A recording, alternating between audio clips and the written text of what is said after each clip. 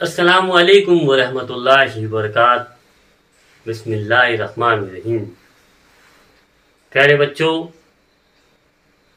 माहौलियात, हिस्सा दुवम सबक नंबर तीन, मराठा सरदार भोसले का बहादुर और काबिल ख़ानदान। इस सबक के हमने कुछ नुकात पर तफसीली मालूम हासिल कर चुके तो प्यारे बच्चों आज जिस उनवान पर हम गुफ्तगु करेंगे, आपसे बातचीत करेंगे वह है एलोरा के भोसले। इस पर आप तमाम बच्चे इस वीडियो को बगौर सुनेंगे और देखेंगे। तो प्यारे बच्चों, इस उनवान पर हम तफसीली मालूम हासिल करेंगे। मालोजी राजे पाटिल और बड़े ही शिवभक्त थे।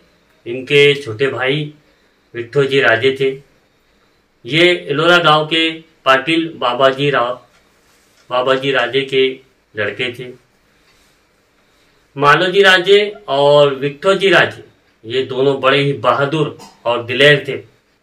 इनके पास मराठा मुसल्ला फौज थी।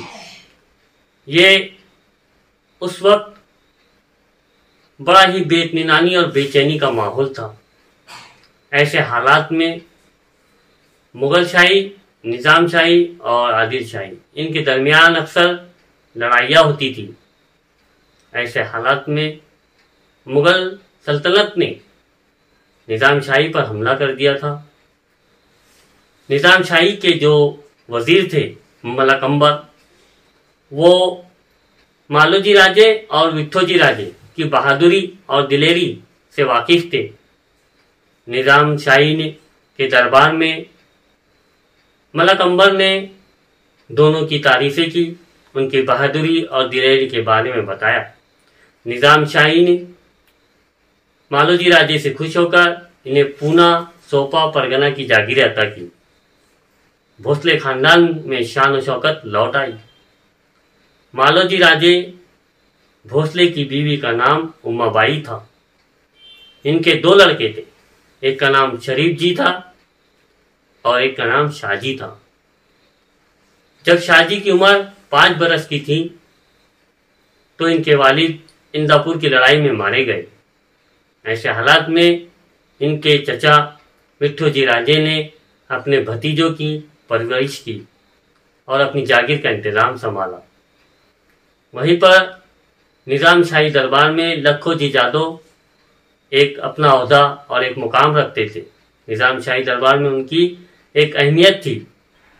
विठो जी राजे ने कुछ अरसे के बाद लखो जी जादव से बात की। उनकी एक लड़की थी, जिसका नाम था जीजाबाई। जीजाबाई बड़ी ही सलीकामंद और समझदार खातून थी। जब विठो जी राजे ने लखो जी जादव से बात की कि शाहजी राजे और जीजाबाई की शादी करा दी जाए तो लखो जी जादव ने इस रिश्ते को कबूल किया। और शादी राजे और जीजाबाई, ये दोनों की शादी बड़ी ही धूमधाम से करा दी गई। प्यारे बच्चों, इसके बाद हम सबक का आखिरी अहम नुकात शादी राजे के ताल्लुक से मालूम हासिल करेंगे।